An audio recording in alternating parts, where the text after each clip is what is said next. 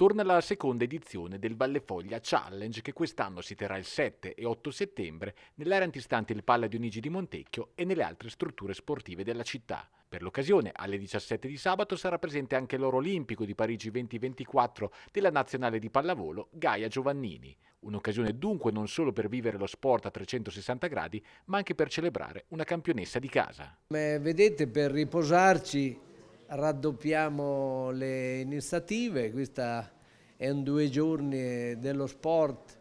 eh, che caratterizza un po' la città di Vallefoglia, che è questo binomio fra le tante attrezzature sportive, le tante discipline sportive, le tante società sportive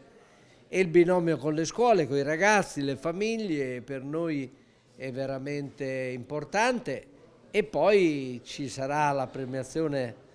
di Gaia Giovannini sabato alle 17 che ha portato Vallefoglia negli scenari internazionali grazie alle associazioni sportive, in questo caso anche Megabox che ovviamente ha contribuito a battere gli americani, che insomma di questi tempi è un onore per l'Italia e lì fu citata anche Vallefoglia. Quindi premieremo, ci sarà un messaggio del Presidente del CONI che eh, manderemo in onda proprio nella inaugurazione e soprattutto le società sportive del posto. E soprattutto un messaggio rivolto ai giovani,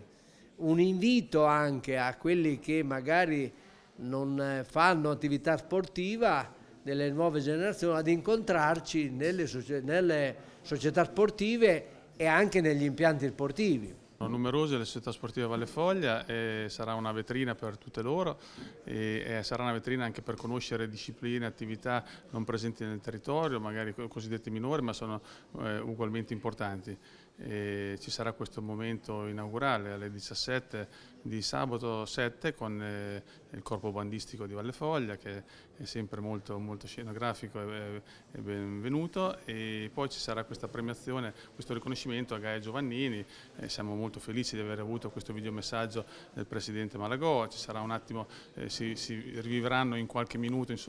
eh, l'atleta in campo con le premiazioni, la medaglia, l'inno, insomma saranno momenti importanti. Eh, dopodiché dalle 10 di mattina alle 10 di sera del sabato e domenica ci sarà spazio in un'area ampia, eh, quella dove si svolge il mercato a Montecchio, insomma a fianco agli,